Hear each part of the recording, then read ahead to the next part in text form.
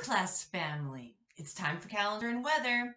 Do you remember what month we're in? Hmm, I know it starts with a D.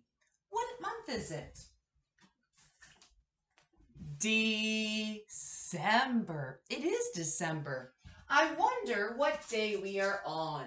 What number comes after 16?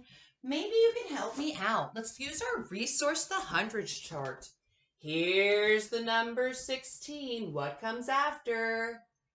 17. Let's go ahead and get 17 because it is December 17th, 2020. Let's add this to the calendar.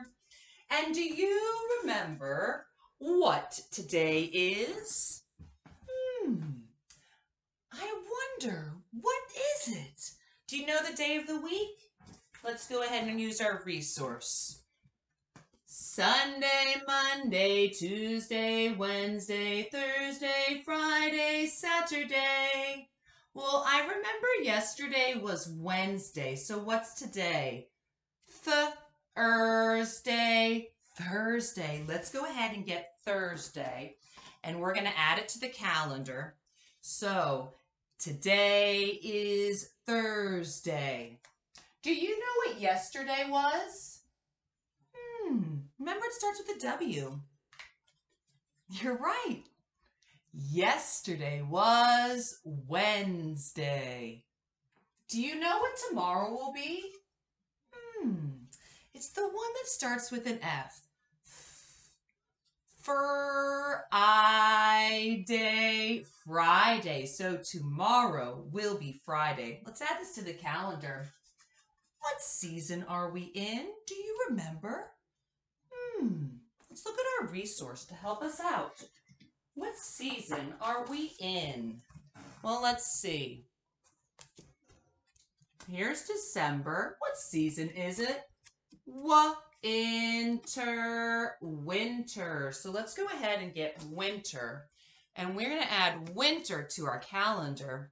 And boy, it looked like winter so much yesterday with the snow. And you might have noticed the snow that's still on the ground. So it's not going to snow again today, but it is very what? Hmm, describe the temperature to me outside. It is cold. It's definitely cold. I would agree with you. Definitely cold. There is ice outside. Be very, very careful if you're walking outside. It's very icy. I don't want you to get hurt and slip. So earlier this morning, it was cloudy, but it's not looking cloudy anymore. Do you know what it's looking like? Well, the sun is shining some. I think it's going to be partly cloudy today. I think the sun's going to come out even more later. But it might be partly cloudy. Let's go ahead and add partly cloudy.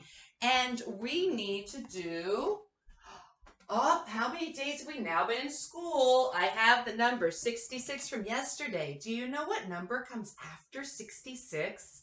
Hmm, let's go ahead and see. Here's 66. What's after?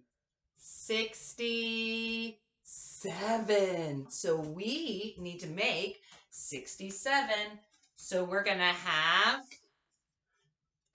a 6 and a 7 for 67. Let's add this to the place value chart. So I'm going to add one counting rod to my ones pocket. And then let's start with our six tens. How many tens? Six tens. Can you skip count by tens with me? Ready? 10, 20, 30, 40, 50, 60. Do it one more time. 10, 20, 30, 40, 50, 60. Get 60 in your brain. You have it there? Keep it, and let's put the seven ones with the 60. So we have 61, 62, 63, 64, 65, 66, 67. All right. Let's go ahead and do our tally mark. You're going to pull straight down for your tally mark. So let's go ahead and do that. How many days have we been in school? 5, 10, 15, 20, 25, 30, 35, 40, 45, 50, 55, 60, 65, 66, 67. Let's write the date. Okay, remember, something to write on and something to write with. If your dry erase board is nearby, that would be really fast. Put your cap on the bottom so you don't lose it. So December,